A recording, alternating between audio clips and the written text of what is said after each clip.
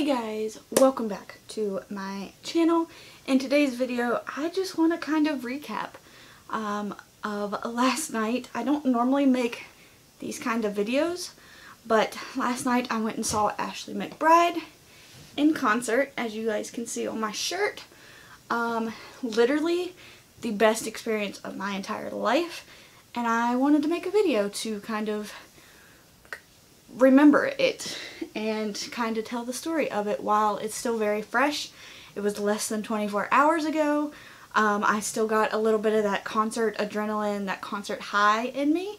And I just want to talk and tell you guys the story of what happened last night and how incredible it was because I just love her. Also, just look at her logo. Like, it's incredible. I love her so freaking much. This is actually not the shirt that I wanted. I wanted the Girl Going Nowhere shirt. Um, and I was actually, before the concert, I was actually going to order it and wear it there. But I was going to, like, kind of recreate it. And instead of putting Girl Going Nowhere, I was going to cross out the Nowhere. And I was going to put Girl Going to see Ashley McBryde. And I thought that was like a cool little, I don't know, that's what I was going to do. I just didn't have time to do it. Um, because I just have been so freaking busy lately. Um, and I didn't really get a chance to prepare for this. It was kind of like Christmas, New Year's. Um, I worked 14 days in between, um, right after Christmas and New Year's. Um, in between there, I worked 14 days straight.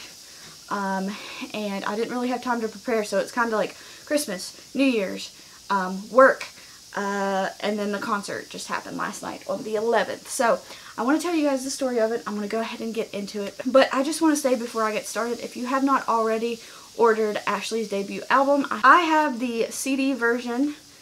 Looks like that. And I also have the um, iTunes version because I bought both. And I also have her other album that was put out a couple years before this one um, which is called Jalopies and um, Expensive Guitars. And it's got some really good songs on it too. I actually think it's an EP, but I have that online too. I don't know if they ever made physical copies of it. I've never found one, otherwise I'd own that one too. But I have a physical copy and an online copy. So um, yeah, go check out her album. And also go check out Dee White, and I'm about to tell you why. So, here's my ticket.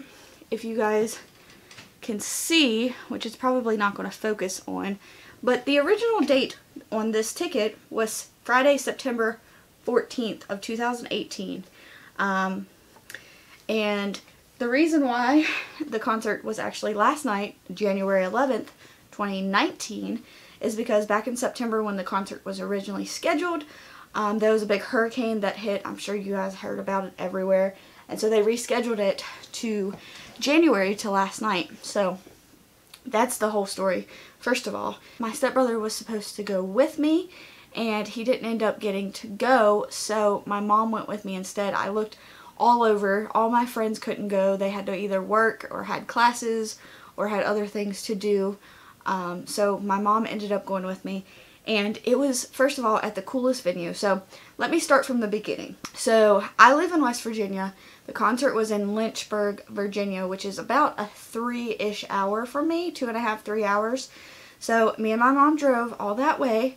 Um, we got to the venue um, and it was a really cool venue. It was kind of like if here was the stage and then in front there was kind of like a little circle type area where like this was the standing area.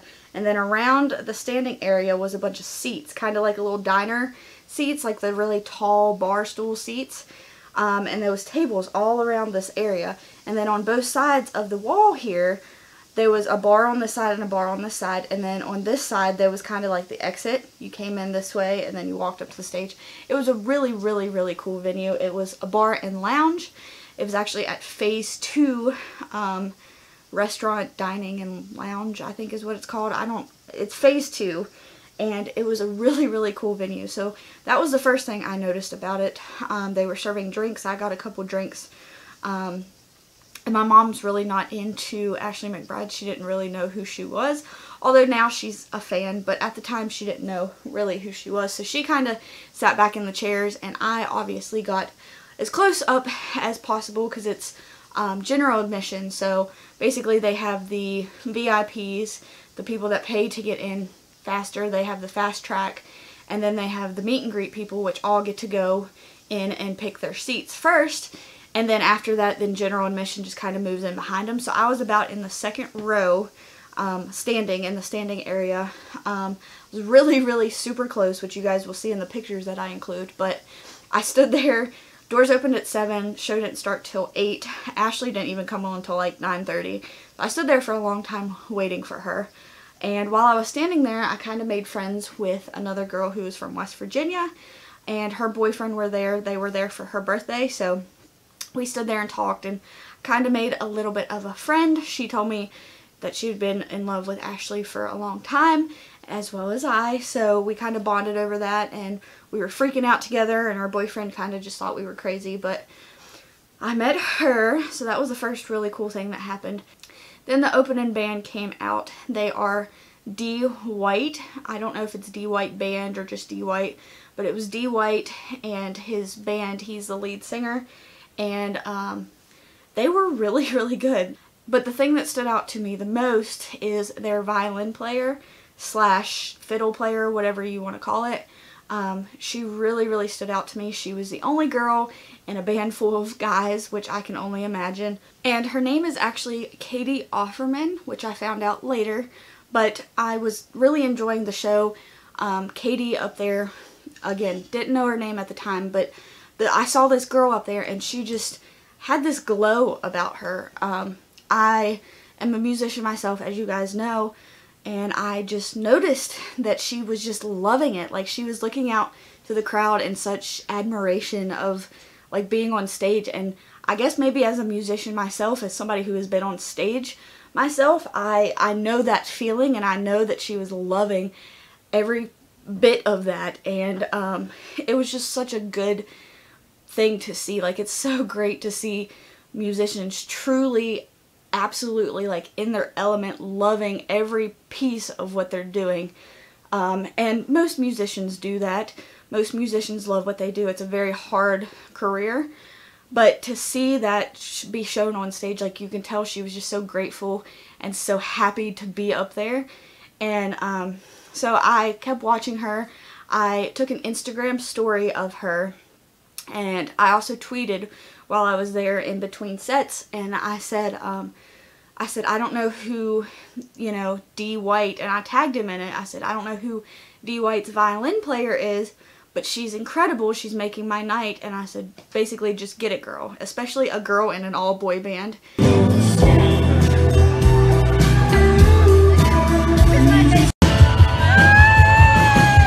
And so I wasn't expecting really anything of it. I just wanted to know who she was. And I figured someone on Twitter would know because the Twitter universe, the internet knows everything. So I, we were in between sets. They were switching. I just kept watching her and watching her and watching her um, before, while they were still playing. So I just kept watching her and watching her and you could just tell like she had this smile on her face that was so genuine and she was just incredible. So um, then they, they got, they finished their show. They were switching sets, getting ready for Ashley to come on. So they, you know, were cleaning up all their stuff, switching sets with the whole nine yards. And my phone buzzed. I looked down at my phone and Dee White had liked and also replied to what I tweeted. And I'll show you guys that now.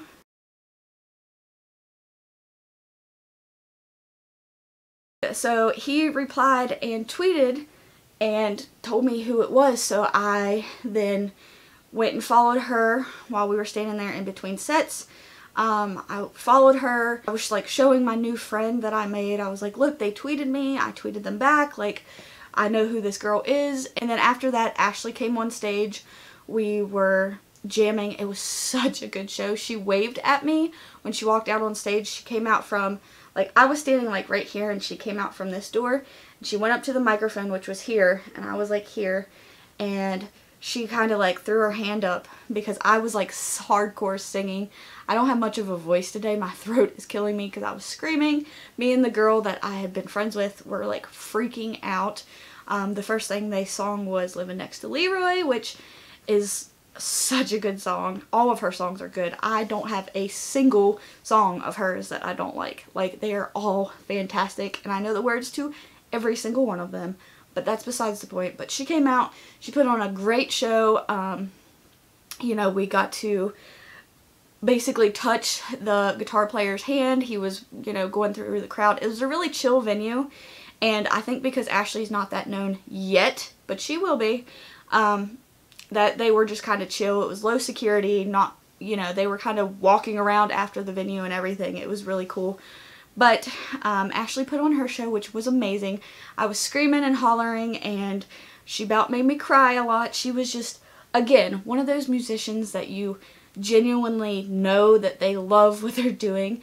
The crowd was singing some of her songs back to her, and she had to kind of like turn away, and you could see her start to tear up, and she turned her head and like moved away from the crowd and like composed herself and came back and sang the rest of the song because we were singing it back to her.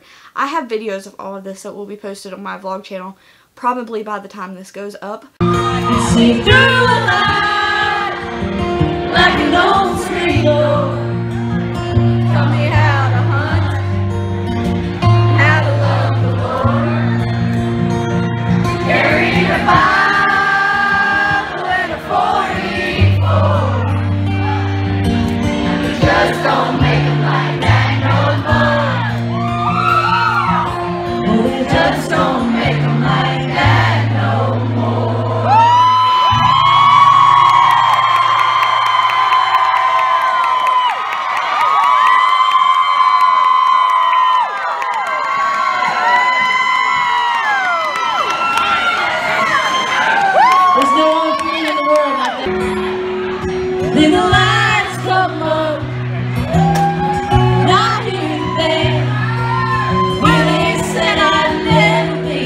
But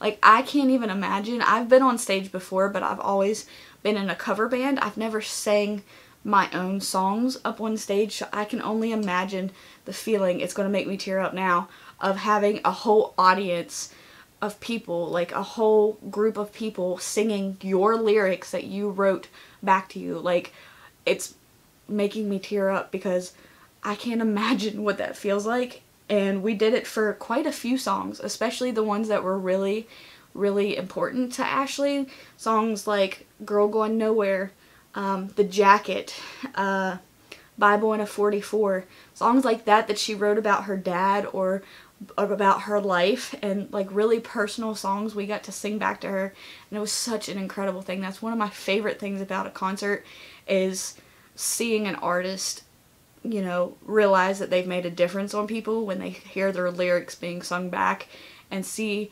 everyone in an audience passionately singing the lyrics that they wrote. And Ashley has just changed. Like, Girl Going Nowhere, not just the song, but the entire album has changed my life. And I was just so in my element. I was so in love. I could have stayed there all night and just hung out with everybody it was just such a good crowd, such an amazing, like nothing, I have nothing bad to say about last night, nothing. Um, so yeah, they put on a really good show. We were all tearing up, we were all like, it was just such a good community, like, we were strangers in an audience of people at a concert and it just felt so connected.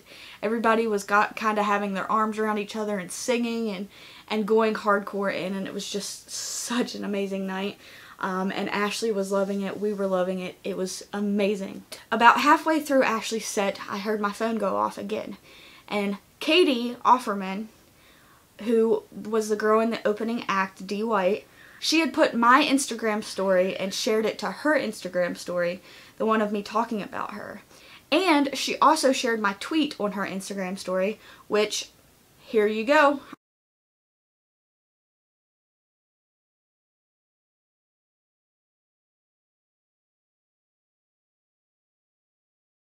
So at that point, I was halfway through Ashley's set, and I didn't want to say anything or tweet back or be on my phone because I wanted to be present in the moment. So I just kind of ignored it for then. And um, then I, after Ashley's set, she got off stage, obviously. They were chanting her name, which is, again, one of my favorite things is when they leave and, you know, you think the show's over and then they come back on for like an encore song. And it's just, it's so crazy and everybody was going, Ashley, Ashley, which again has to be the greatest feeling in the world. I don't know what that's like, but I can only imagine what that is like. And she came back on, she sang an encore song. Again, we were passionately freaking out. She was taking selfies with people in the audience. She was grabbing people's phones and, you know, taking selfies.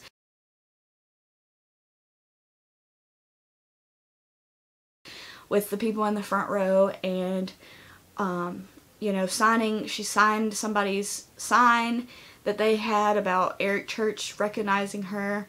She was like doing all these cool things, holding people's hands, shaking hands, all that kind of stuff.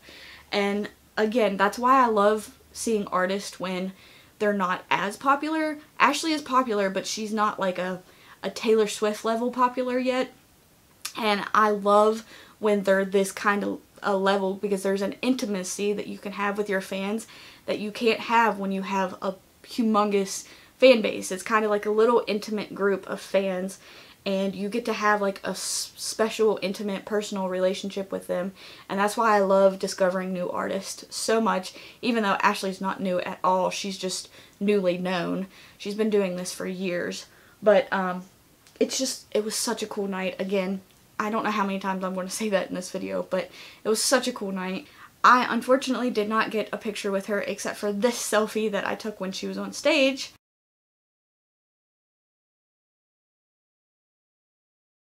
But it is okay. So yeah, the show was over. Um, I was very upset about it. That post-concert high adrenaline is like still amazing, but it's kind of like also very sad because you realize that it's over. But me and my friend were just kind of standing there talking and um, you know, we're like, well, is she going to come out? Because we had been creeping on her and like the previous nights before she came out on the dance floor with some of her fans and that kind of stuff. So we kind of just hung around and I noticed that the people from the opening act were standing five yards from me. So, and they said that they were going to do a meet and greet afterwards for anybody. And again, they're an opening act, not known at all. Um, as far as I know, I didn't know them at all, but that girl just overpowered me. Like she, I feel so almost connected with her. Like there's something there that I am just telling you she's going to be amazing. Catie Offerman, go look her up. Go look up Dee White as well. They are going to be something, if not Catie by herself as a solo artist, because she is a singer-songwriter herself, um, then the band, she's she's just going to be known. I'm, I'm telling you guys this. I have known many artists that I discovered before anybody else or before many people. And I'm telling you, Catie Offerman is going to be someone in country music. Mark my words. It is January 12th, 2019. And I am telling you right now, Catie Offerman is going to be somebody in country music. It might take a couple years, but she's going to be someone eventually in country music. So just watch. But getting back to the story, I saw them standing there and I went over and I said, hey, I said, I'm the one that tweeted you guys earlier. Thank you for tweeting me back. I said, you guys are amazing. I pointed to the girl, which is Catie, and I said, you girl, you rocked it up there, and I really appreciated, you know, getting to witness that. I said, thank you for letting me be a part of you just enjoying yourself. Catie gave me a hug. Um, Dee shook my hand because guys and girls are different with the way they greet people. Um, I shook Dee's hand, I gave Catie a big old hug, and I thanked her so much for everything, for letting me witness that amazing moment, and I asked them for a picture, and I got the picture.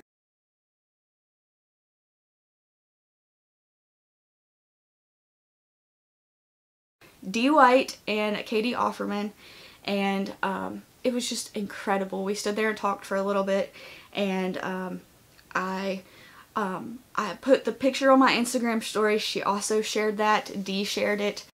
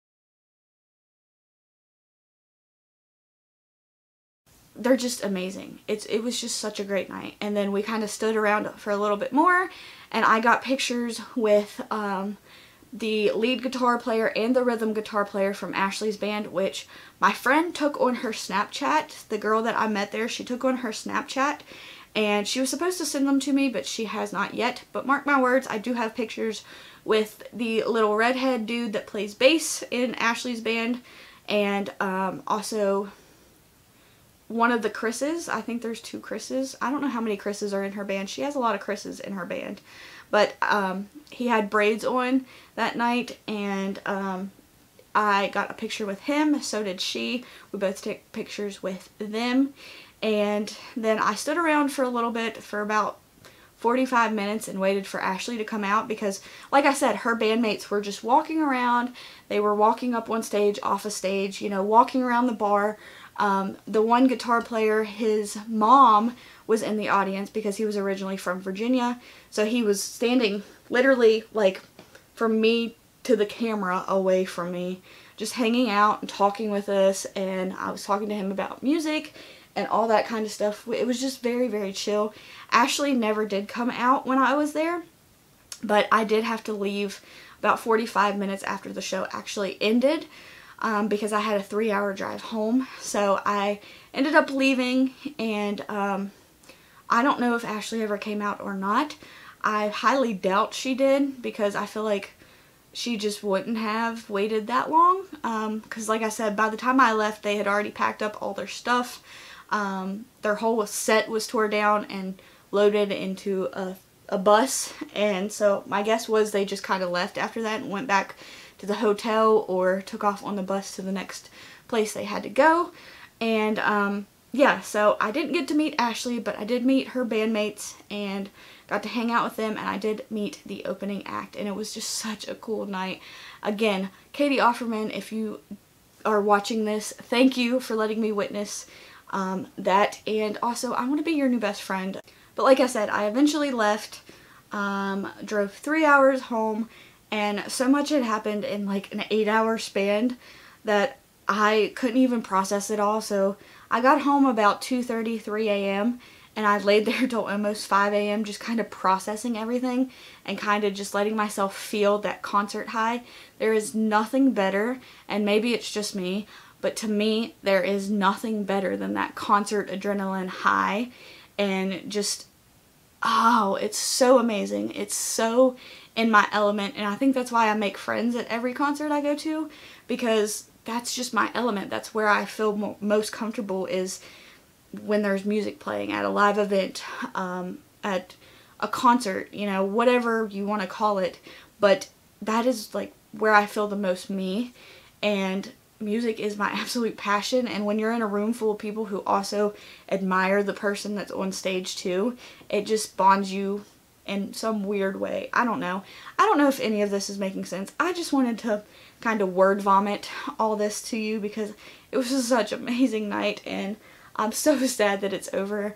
Um, me and Catie are now kind of talking on Instagram. We're basically friends now. So, um, like I said, mark my words, January 12th, 2019, um, Catie Offerman is not very known yet, but she will be, and hopefully I'll be friends and get to watch her grow up and be famous. Um, so she is incredible. Go check her out. Go check out her band Dee White and all the bandmates. Go check out Ashley McBryde. If you haven't, her debut album is nominated for a Grammy as well. Um, this is Girl Going Nowhere, the most incredible album ever. It's so freaking good. She is gorgeous, by the way. Ashley is gorgeous in person. Can I just let you guys know? gorgeous. Um, her tattoos are amazing too. I love, I just love her so much. She's got like such a, a cool personality. She's so down to earth. It was just, it was such a good night. I can't express to you guys how much of a good time I had. Um, but anyways, I'm going to stop rambling now. I just kind of wanted to word vomit something like this at you and just kind of tell you everything that I'm feeling right now and share it with you guys because it was just an amazing night and I that's what I do. I share my life and I love doing it. So I hope you guys enjoyed this. Again, go check out uh, Ashley McBryde. Go check out Dee White and Ashley Offerman and all the bandmates of Dee White's band and Ashley's band and everybody else. Um, it was such a good night. They are all incredible and on February 10th, I believe, that could be wrong, check out Ashley on the Grammys because this baby right here, see this thing right here, is nominated for a Grammy, her debut album, and she's nominated for a Grammy for it, so hopefully she wins. Um, I will be rooting her on. Um, I covered her song like a year and a half ago. She's incredible. Please go check her out. Go buy tickets. Go check out Dee White. Go follow them on Instagram. All their stuff will be linked down below. Um, I just want to give them a huge shout out because me and Catie are now friends again and that that girl's going to be famous, I'm telling you. Um, and Dee White and their band is going to be something huge because they're really, really good. Um, and so is Ashley, but I don't have to tell you that because Ashley's already becoming famous. But, again, I'm rambling. I'm to go. Uh, also, finally got a, a diffuser and a mount for my uh, camera and my ring light. So you're welcome for the awesome quality, even though I look awful right now. Got that concert hangover. But again, I'm going to go. I'm rambling. And I will see you guys in my next video. Again, go check them out now because I said so. Okay, bye guys.